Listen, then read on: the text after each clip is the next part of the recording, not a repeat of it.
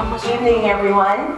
Uh, my name is Yvette Modestin. Uh, tonight I am your facilitator and I'm also the uh, diaspora coordinator of the network of Afro-Latin American and Afro-Caribbean women. I'm originally born and raised in Panama, so I will be the Panamanian voice on the panel. Um, tonight we are, our hope is to bring you closer to what is the voice of black women from Latin America and the common narrative that we all carry as black women no matter where we stand. Uh, so hopefully that is what you will all be walking away with. I'll start with introducing, um, ah, lo voy a decir en español primero. Eh, buenas tardes, mi nombre es Ivette Modestín, soy la coordinadora de la red de mujeres afro eh, para la diáspora, soy panameña. Um, esta noche las intenciones de este panel es para darle voz a la realidad de la experiencia de la mujer negra en Latinoamérica y para hacer las conexiones que todas tenemos una historia muy similar, no importa de dónde somos, eh, que la historia de la mujer negra de exclusión, de acceso, falta de acceso o visibilidad es, es similar en todos nuestros países. Eh, so, esperamos que puedan aprender un poco de todas nosotras. Yo estoy aquí hoy como la voz de la mujer panameña, nacida y criada en Panamá. Um, so voy a presentar a las panelistas. Eh, y vamos a tener unas palabras al comienzo de la doctora Marta Moreno Vega, pero todavía no ha llegado. Eh, y quizás cuando llega ella puede tener unas palabras al final. Um, we were ho holding off, uh, Marta, Dr. Marta Moreno Vega was going to do some opening um, statements, uh, comments, uh, but she's running a little late. But actually, before I start, um, one of our traditions is that um, we want to honor the ancestors um, uh, by um, giving thanks for getting all the sisters here safely, because they all traveled here from many different places, and that they arrived safely and that they continue to guide us in all our endeavors.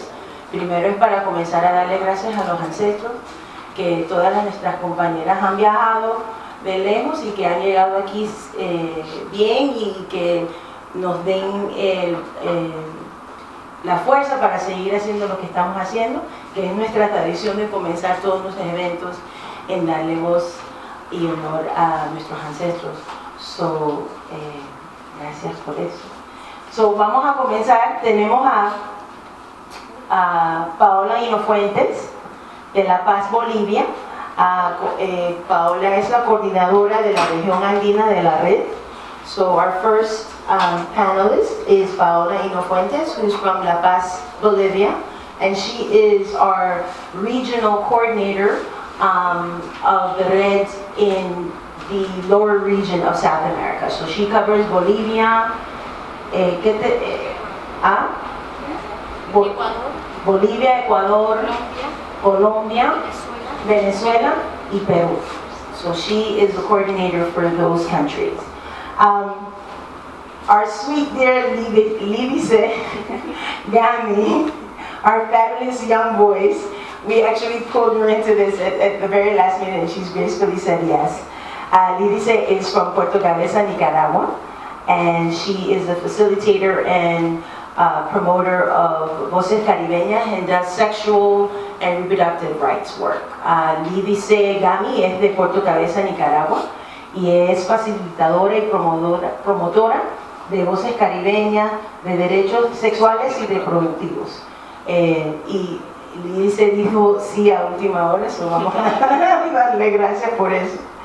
Eh, nuestra próxima eh, presentadora es Medelka Lacayo, de la Ceiba Caribeña de Honduras, eh, facilitadora de un proyecto de derechos civiles y políticos.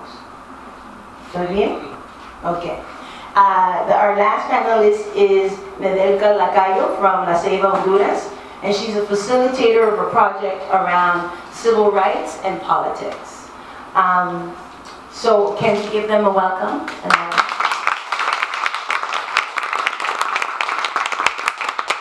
So I'm going to put her on, you know, one of the great things about being a facilitator is that you get to do things at the last minute. So um, I'm gonna show her up, and she, I know she didn't want me to do this. this is my dear, dear colleague and sister, Maricruz Carrasco, who is our communicator for the Red Mujeres Afro. So she is the woman that keeps us connected from all of us from where we are. So she's the one that gets the emails to us, makes sure that we're all informed, make sure that we get things back to her, and the Red would not function without her. So I wanted to acknowledge her in this space. Eh, Maricruz es nuestra comunicadora de la red. So, ella es la que nos tiene al tanto de todo, nos conecta en toda la información, nos manda la información que tenemos que mandar a tiempo. So, la red no funciona sin Maricruz. so, quería darle las gracias y que todo el mundo sepa que ella está aquí en el, en el espacio. So, gracias.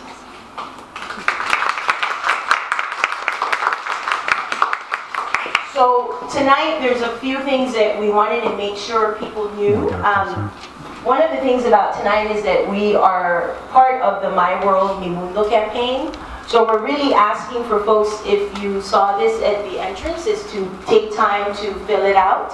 Um, this is really important, especially for us, if you're an Afro-Latino in the space, that we want to make sure that our voices get heard in the new millennium and the sort of the, the work that's going to be doing in deciding what are the needs of the countries.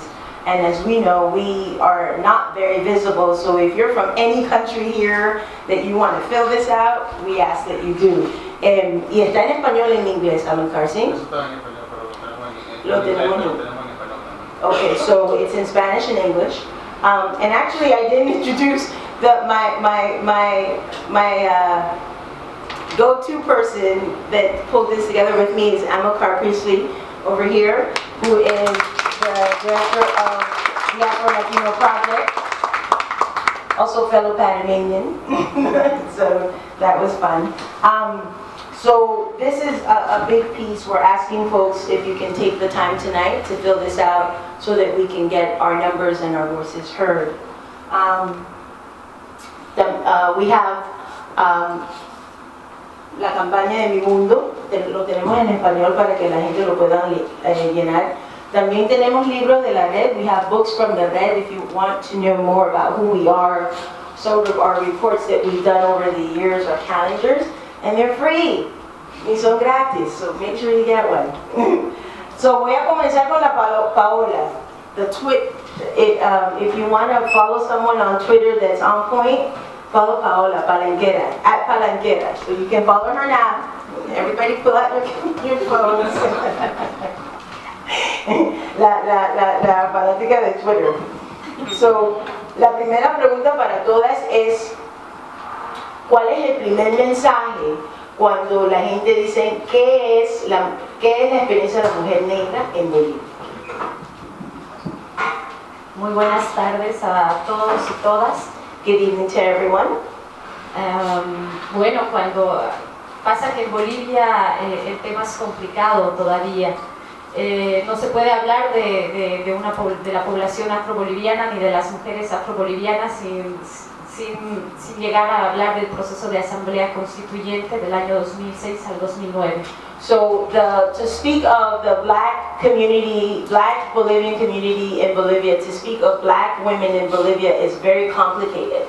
Um, to speak of that means speaking of the constitutional process that started in 2006. Uh, so there is an issue of recognition that they are even there. Eh, podemos decir que antes del 2006 eh, había una invisibilidad total de la población afroboliviana, se negaba nuestra presencia eh, en el país. Before 2006, uh, the Afro-Bolivian community was not recognized. Uh, there was a denial that they even were in the country. Eh, entonces es que nosotros eh, ya, ya, ya, estábamos organizados, pero primero como un movimiento cultural que reivindicaba sus luchas a través de la música. Eh, es así que llegamos al proceso de asamblea constituyente expresando nuestros, nuestros derechos y nuestras demandas a través de la música y que ha tenido gran impacto. They first started uh, being more visible through the music by using culture as a way to be recognized. And it was through the activism by recognizing the culture and bringing and using music as a way to bring attention to who they were and what they were doing is how they were able to enter into the constitutional process of being recognized by the country. Ah, durante el proceso de asamblea constituyente nosotros eh, hemos vivido momentos muy duros, ¿no? Eh, donde se, eh, queda en evidencia que Bolivia es un país muy, muy racista. That during the process, they, it's been a very difficult process and it's come to light that Bolivia is a racist country uh, because the process has been a very difficult, painful process. Eh, nosotros pedíamos que se haga un, un reconocimiento hacia la población afroboliviana. They had asked to be recognized, uh, the Afro-Bolivian community had asked to be recognized. Entonces eh, hemos escuchado en aquel momento voces tales como ustedes, ¿por qué piden reconocimiento si más bien deberían agradecer de que nosotros los hemos acogido aquí y no se están muriendo de hambre en el África? Yeah. Okay. Um, what the what the response was, why do you want to be recognized? Um, if you know all we we took you in. If not, if we didn't take you in, you would all be back in Africa. Entonces, esto, de- esto nos dejaba claro a nosotras las mujeres en aquel momento que, era un- que nosotros teníamos una sola agenda. No, no, no teníamos agenda de las mujeres y de los hombres, solo era una agenda única que era la lucha contra el racismo y por la visibilización del pueblo afroboliviano. And at that point, it wasn't an issue of the issue being the men or the women. It was one single issue, and it was about bringing voice and attention to the Afro-Bolivian community and to fight for the rights of the Afro-Bolivian community. And it wasn't separated by gender. In the issue of education and sexual rights and reproductive rights, we are still invisible. Bueno, hablando en cuanto a los derechos sexuales y reproductivos, principalmente em, en Nicaragua contamos con un marco jurídico hermoso, pero en cuanto a la aplicación es fatal. Entonces, ya aterrizando a la costa caribe, nosotros contamos con un instrumento que nos permite a nosotros como afrodescendientes hablar en nuestra lengua materna y que nuestros hijos reciban educación en lengua materna. So one of the things is that they have sort of the education piece in place, but the process is not uh, a strong process. And what they're doing now is doing the education where they are teaching their kids in their native tongue. ¿Cuál es la, la, El SEA, SEA se llama la, en la lengua. La lengua. Creole. Es Creole. y garífuna. So in, in this area, Puerto Cabeza and um, Bluefields, it's English and Creole, and uh, Creole and Garifuna are the two languages. So now they're put in the position to teach their kids and educate their kids in those two languages. Pero más sin embargo no se está haciendo, But no we're, we're not applying it. It's there that it's supposed to be done, but it's not getting done. Y no solo eso, recientemente la red realizó un estudio en Guatemala, Nicaragua y Honduras y las estadísticas en cuanto a violencia sexual en niños y niñas es alarmante y es enfocado específicamente en la población afro y es alarmante, se ve que hay un gran índice de violencia sexual en, en la población afro hacia los niños. Hacia los niños. Niños y niñas. Niñas. So one of the things the Red um, did a study in the black community. So it's Puerto Cabeza and uh, Bluefields in Nicaragua. We have Livingston in Guatemala.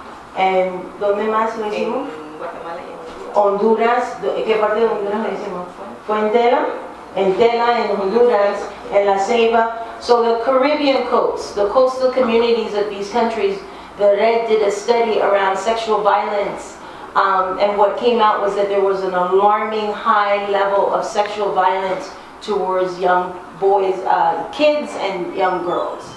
Y lo que es más alarmante es que ah, se han en el estudio se encontraron justificaciones como por ejemplo que es muy normal escuchar que la mujer, eh, la mujer afro es bastante atractiva físicamente. Ujú.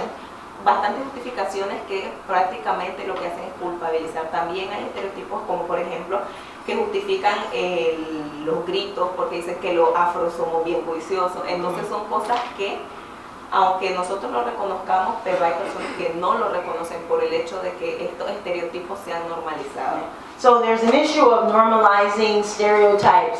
So the justification is that black women, Afro-descendant women, are already sexualized and are seen as over-sexualized. So within our movement and the way we carry ourselves, that puts us in the positions to be sexual, uh, sexually attacked and, and, and raped.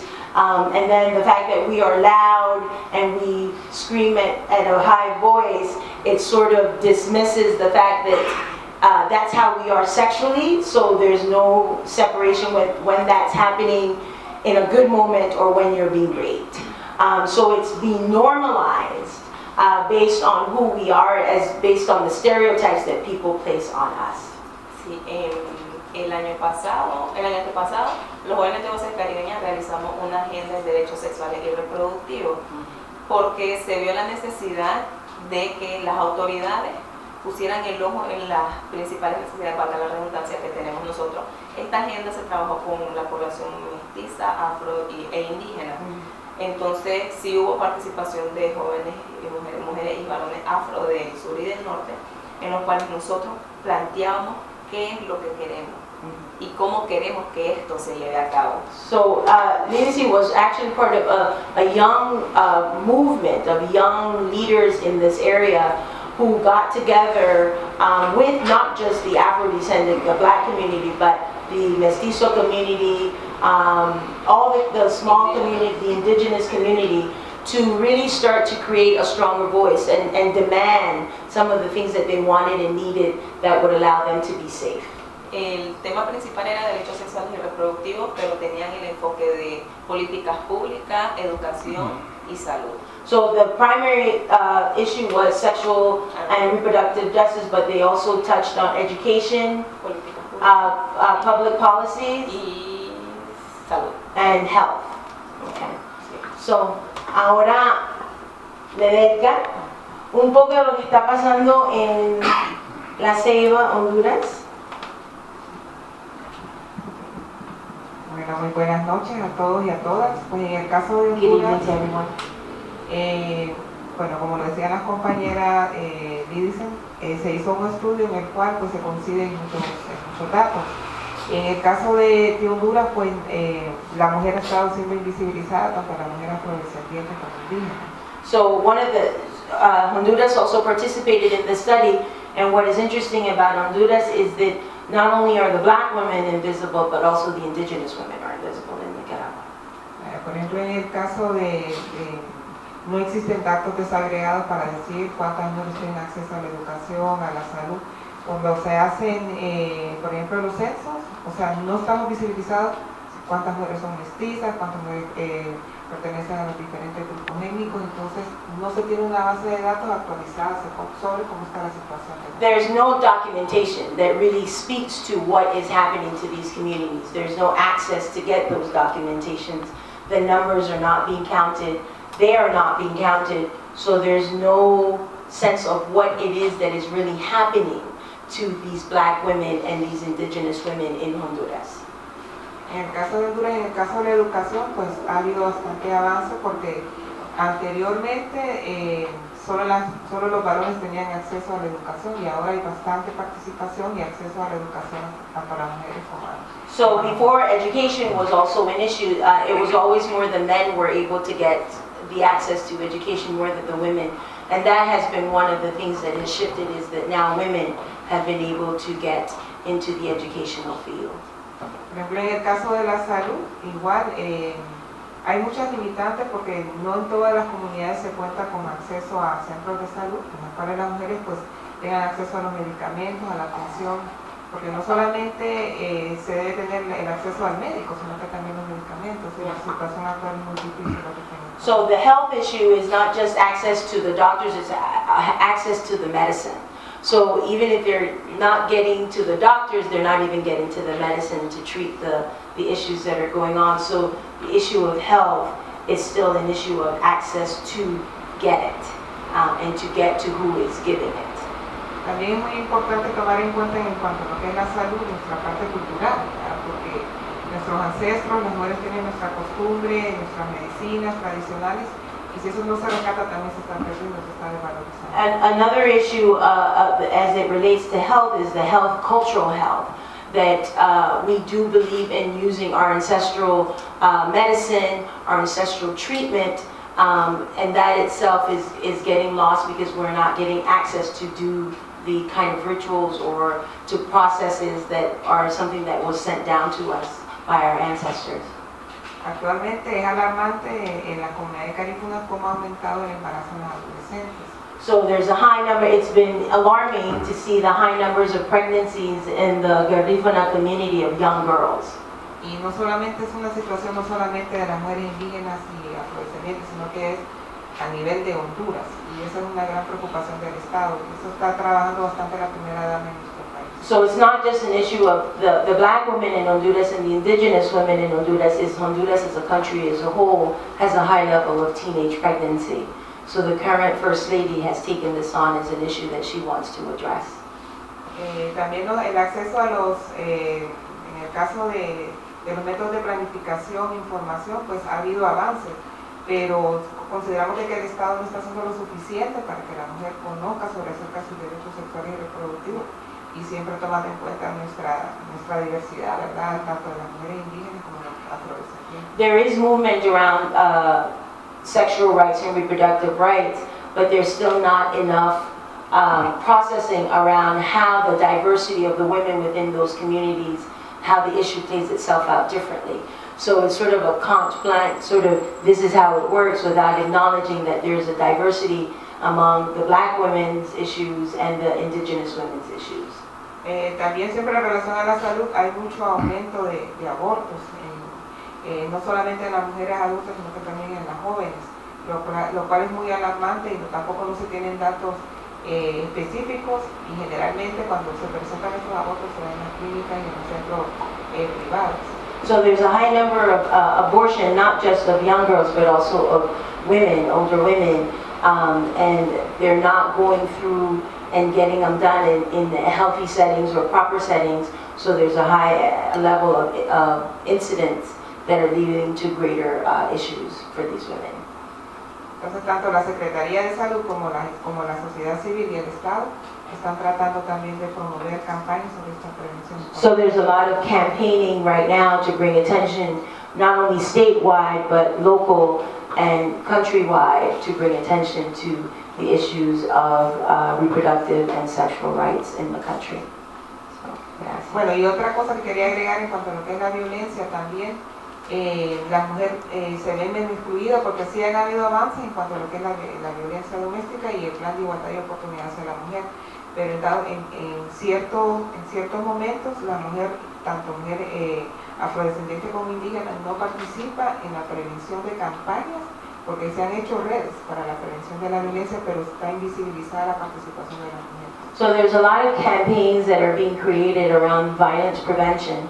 Uh, what is, and it's very visible, but what's not visible is the voice of the indigenous and the black women within those campaigns.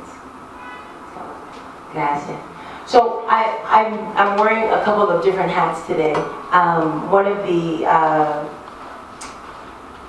collaborators of the event tonight is When and Where I Enter, which is a organization here in the U.S. that supports and funds um, Afro-Latina projects in Latin America. I don't know if Charlita's here yet, so Charlita, if you want to just stand up and wave. Charlita is one of our board members, um, and she is here. Um, in, as, two ways, as the diaspora and, and from Panama, what, what's happening in Panama is that we do have the access, we do have the visibility, but we still are not recognized and respected. There is uh, just a recent case that just happened. A young uh, sister uh, worked for Copa Airlines. Something it, it's it's minimal, but it's big because we are getting into spaces where we're getting the jobs um, in Panama as black women. Uh, but then what happens when we're in these jobs is it becomes complicated. Uh, she has the job, but she has her hair natural and almost loses her job because she's told that she can't have it natural or braided uh, to keep her job. Um, and that she had to process her hair. Uh, so the black community in Panama really came together, uh, the leaders in Panama, to support her in fighting that her hair should not be an issue and should not have to change her hair texture to have this job. Um, so it becomes an issue of what is, uh, you know, who is defining what is beautiful um, and who is defining what is professional as it relates to how a black woman carries herself. Um, there's a high level of violence um, uh, and, and pregnancy also. I'm originally from Colon, which is the second largest province in Panama, but one of the very largely populated black community. And it's the community that has been most denied, I think, by the country, considering some of the money that comes out of Panama comes out of Colon. So it's sort of contradicting when you go to Panama City, you go to all these places in Panama, and then you go to Colon, and then you see that this is where the money is, but that's not what you see. Um, the poverty level and the violence level is very high. As it relates to the diaspora, um, many of us who are coming from our home countries and then are coming to the US or wherever we are, are being faced with the lack of acknowledgement that there's black communities in our country. So we then have to explain, oh, by the way, I'm black and I'm from Panama. And people are like, but what? And I was like, didn't you know that we're there? You know, so we have to go through this double thing that happens here is that we're not recognizing the Latino community um, because we're black, whatever shade we come in. If any of us here were walking in the street and no one knew who we were, we would not be considered black women from Latin America. They would minimize us. Lidice and I would be minimized down to our hair. So we can't be black and Latin American with your hair, you know or Paola because whatever they want to define as black, you know, it's, it's more about the color and not about the root, uh, which is why the term Afro-descendant is so key because it, for us is, no me importa que claro saliste, eres Afro-descendiente, you know, so, you know, we don't care how light you came out, the point is you're still an Afro-descendant. Um, so we have to deal with that from the Latino community. Cuando llegamos aquí de nuestros países tenemos que enfrentar una falta de reconocimiento dentro de la comunidad latina de ser afrodescendientes, porque llegamos aquí y se nos olvida que hay negros en nuestros países y nos paramos delante de negros de nuestros países y nos dicen, pero yo no sabía que tú eras panameño y que yo me parezco a ti. You um, so it's that whole thing of, oh, you know, I didn't know you were black. And then there's a disconnect also with African Americans who box in what it means to be black based on being born here. And anyone that doesn't wasn't born here cannot be black. we cannot understand what black means if you're not born in the US. So then we have to be like, oh by the way, you know, there was lynching in Panama. so, you know, and they dropped them off here before they dropped you here, you know. Um, so we have to explain that. Nosotras aquí tenemos que estar explicando la comunidad latina que somos negras y que somos panameñas, que somos de Bolivia, de Nicaragua y de Honduras, porque hay una falta de reconocimiento de negrura cuando llegamos aquí. En, nuestros países sí, pero llegan aquí si pueden pasar, pasan. Y dentro de la comunidad afroamericana, ellos nos minimizan porque para ellos ser negro es ser americano de este país no reconocen que hay negros en otro país con eh, historias similares a este país, eh, de la esclavitud, eh, del tratamiento de ser negro, del, del, colonialismo, todo existe en nuestros países que no se reconocen. So it was very interesting to come here as a college student and have to explain where Panama was, the U.S. influence in Panama that was their neck, their foot, and their whatever elbow into Panama, uh, because I grew up in Jim Crow in Panama. I'm a product of Jim Crow law, Brown versus Board of Education, integrated segregated schools. So I had to constantly have to explain that. So there was a lack of understanding. So black women that are coming here, which was important when the red decided to add the diaspora to the red. ¿Cuándo pusimos el nombre de la diáspora en la red? ¿Fue 2006, María Cruz? Um, before 2006, it was just Red de mujeres afro-latinoamericanas y afro-caribeñas.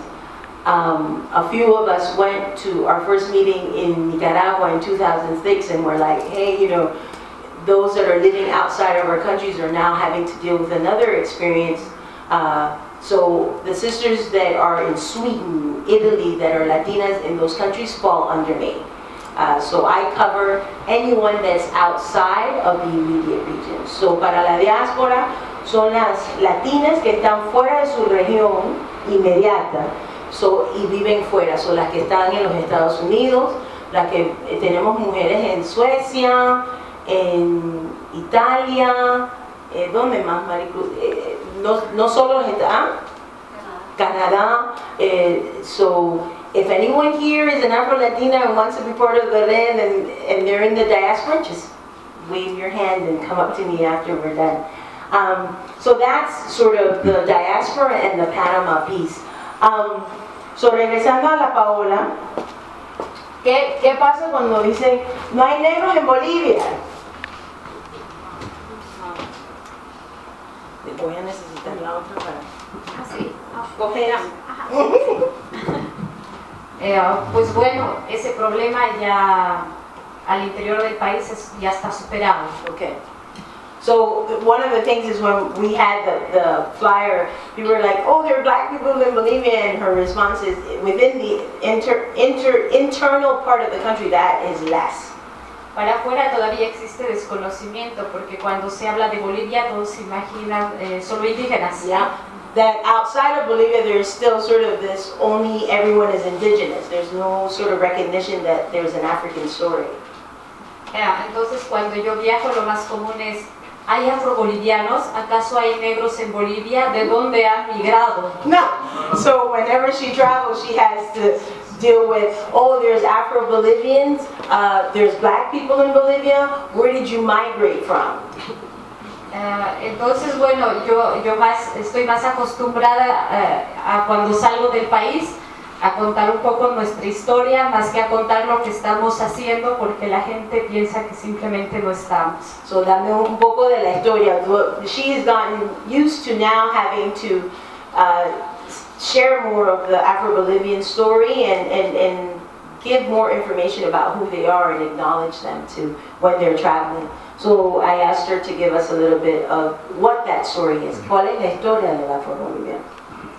Am, yo creo que ahora, eh, eh, ante, esta, ante esta dinámica de, de las redes sociales, del activismo 2.0, nos permite también tener eh, otro tipo de, de activismo que nos permite visibilizar a la población afroboliviana. So right now with the activism that's going on, they have been put in the position to make the community more visible, to really speak more for the Afro-Bolivian community. Entonces, eh, yo veo que se puede articular desde este espacio y dar a conocer al mundo también sobre la situación en la que estamos. So this is also an opportunity to tell the world and speak uh, of, and about the situations that we're living. Eh, por ejemplo, cuando hace un par de horas, hace una hora, cuando nosotros llegábamos a este espacio, Amilcar me preguntaba, ¿tú estás en la campaña del, contra el Tundiki? That um, when she got here to this space, Amilcar asked her if she's in the campaign, the Adu- Ad- Tundiki. Adundiki campaign. Esto era una cosa impensable, ahorita les explico lo que es el, el Tundiki.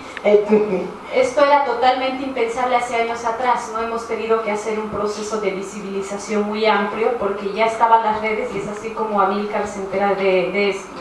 So it wasn't like they were visible, the, the networks were already created. So this has taken up a life of its own and that has made it more visible now.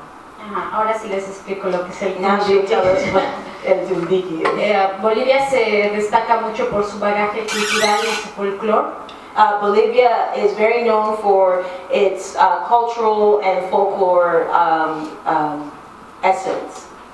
Eh, pero también nosotros eh, como población, y ese ha sido uno de los motivos que, una de las cosas que nos ha impulsado a, a- a organizarnos en los años 80, y es que muchas de nuestras cosas las han, han tomado personajes nuestros o cosas de, nuestra, de nosotros, y lo han convertido cultura y aún así se negaba nuestra presencia en Bolivia. So what has happened is that although they're not recognizing them, what they've done is take their cultural uh, essence or things within that culture and taking it and using it into the larger context of the country, still not recognizing that they are there.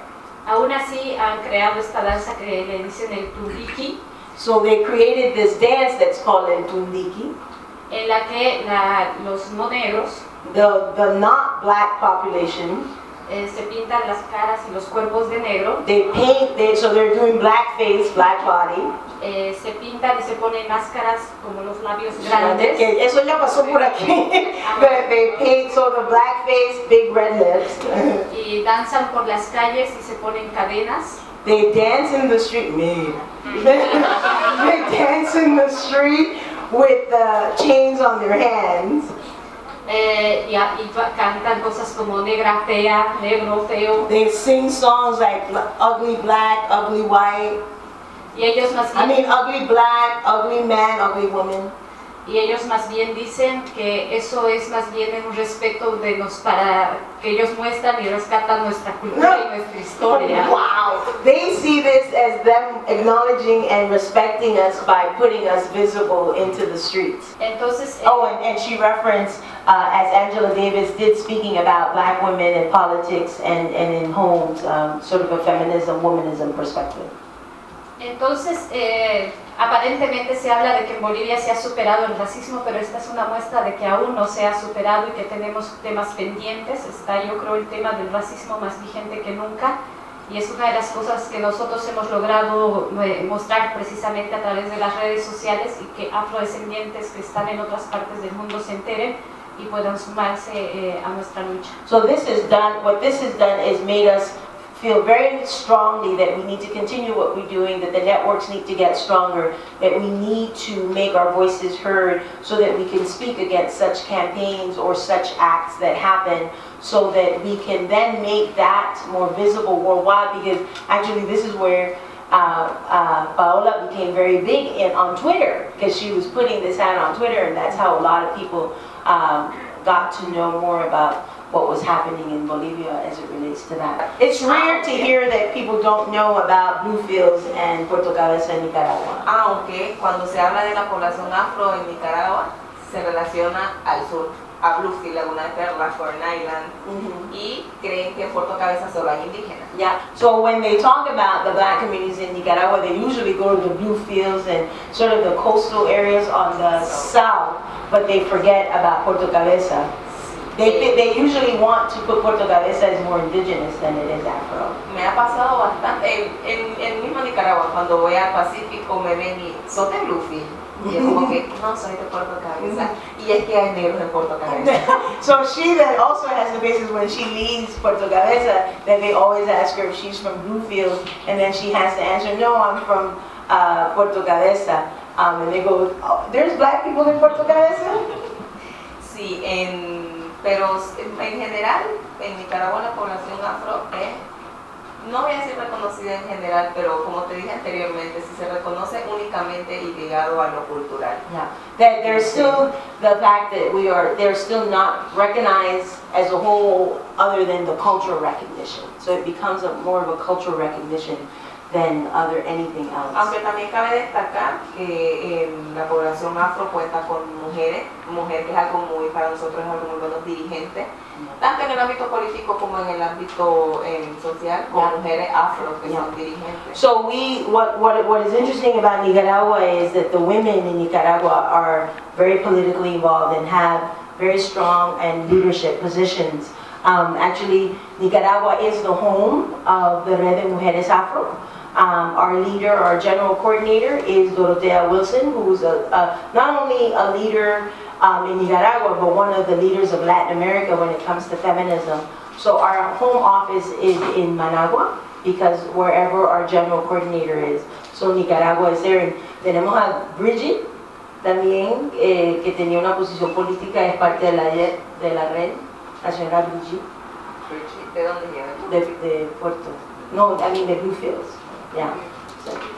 ¿Y quién más eh, de posiciones? en- bueno, por ejemplo, en el ámbito político tenemos a, a una diputada eh, a nivel nacional que, que es afrodescendiente. En lo regional tenemos a concejales regionales y municipales que son mujeres afro, aunque em, em, actualmente eh, la población afro está teniendo como que un problema con esta- este tipo de representaciones porque a la hora de, de lanzarse como representantes, se lanzan como representantes de la población afro, pero en el momento en que son elegidos, únicamente responden a, lo, a, lo, a las directrices políticas. Entonces, como que en el momento que ocupan el puesto, se olvidan de que están representando a la población afro.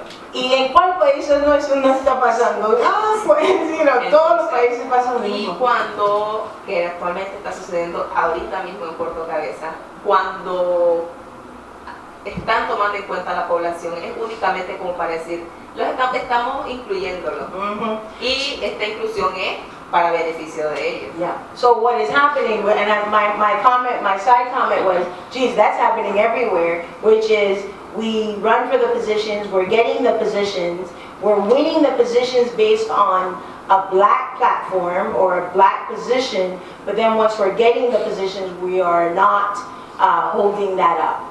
The term Afro-Latina is more of a political term that is used here. We do not use that outside of here. Um, that's a whole other conversation because the Latino term here still carries a European context. So that's why the term Afro has to come before Latino when you use it in the context of the US versus when you use it in the context of just Afro-descendant in Latin America. So, una de las cosas para, para mencionar es en la conferencia del mundo de las Naciones Unidas en el 2000 contra la violencia, eh, contra el racismo, los Estados Unidos se salió de la sala, pero los afrodescendientes de Latinoamérica se quedaron en la sala y fueron los líderes de Latinoamérica, afrodescendientes de Latinoamérica, que fueron los que empujaron el término eh, afrodescendiente, que es un término que incluye más una historia común y no nos separa de región, ah, sino nos pone como hermanos y hermanas de donde sea que estamos eh, viviendo y donde sea que eh, nacimos. Pero el conflicto viene de, de- de esa palabra que está ahí, África. Que todavía nosotros como afrodescendientes no nos reconocemos como africanos. So the struggle becomes that part of the term of the term has Africa. And although, you know, African American, but I mean, some of the things that I've seen in the work that I've been since in this country, you say African American and you tell an African American that they're African, it's like, it's an insult. So we may acknowledge Afro descendant and African American, but we get way shaken up if we leave you with African. And that's where our work needs to start. Because if we can't recognize that, which is our past, then we're not really standing solid on, on the ground that we're standing on. So that's a common, uh, in the Panama census, it became a struggle when the term Afro-descendant was used. Folks thought it was better to use Afro-Antillean, Afro-Antillano, Afro-Colonial, without knowing that the Afro-descendant was speaking to all the other terms that were there anyway. So you could start at that and not even have to check off the other stuff. So, um, how are we doing with time, Amaka? Okay. Um, un poco más de tu experiencia como mujer negra en, en Bolivia. ¿Qué es lo que Paola ve? ¿Cuál es la experiencia de Paola cuando Paola sale de su casa? Porque todas tenemos experiencia. Yo lo tengo, yo sé que Lacey lo tiene y Medelka lo tiene. Bueno, eh, um, si tendría que decir, eh, muchas veces a mí me dicen que yo no soy negra, They tell her all, a lot that she's not black. pero eso me lo dicen los negros, But even the black people tell her she's not black. porque para el resto sigo siendo negra. Because everybody else thinks she's black. Así es. Eh, So, did- did we get that? So black folks don't think she's black, but everybody else thinks she's black.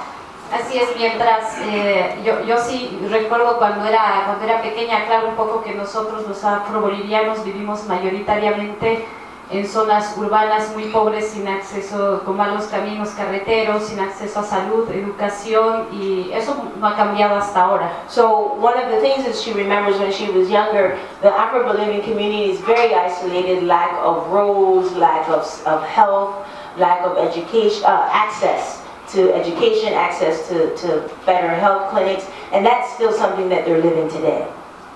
Entonces, eh, mi primera migración se da de la, la comunidad de la que soy, Tocaña, a la población de Coroico, que es turística. So her first migration is with her food, la comida, ¿cómo se llama? Tocaña, Tocaña, which is the food, y, and, y la comunidad Tocaña. Coroico. Coro, and the community is called Coroico, where she migrated to. Entonces resulta que cuando yo llego ahí a los, eh, a los cinco años, a los cinco años me enteré que yo era negra. It, she got there at the age five, and it's, that's when she found out she was black, that she now knew that she was black. Y, y no lo digo por el color, sino por lo que implica ser negro o negra. And I'm not talking about what, about the color, it's what it implies uh, to be black, the implications of being black. Entonces resulta que también eh, llegó a un punto en el que yo no era considerada lo suficientemente negra para ser, por los negros, para ser considerada negra, y tampoco era lo suficientemente blanca para ser blanca. So she then faced that she wasn't black enough to be recognized by the black community, and she wasn't white at all to be recognized by the white community. Eh, entonces es así como uno, eh, muchos, muchas mujeres, muchos jóvenes eh, empiezan a vivir su, su, su negritud en Bolivia, sus relaciones interraciales, sus relaciones étnicas. So it's that when you start to really live your, your race and your intercultural race and, and identity issues as an Afro-Bolivians when you start to have to face this exclusion from both sides. Entonces, eh, bueno, ahora sí voy a, a donde quería. Entonces, el hecho de que, eh, de que siempre para la sociedad voy a ser negra, So the fact that I'm always black to the society, entonces a, a- a mí me convierte en una mujer eh, que sufre de bastante acoso en la calle.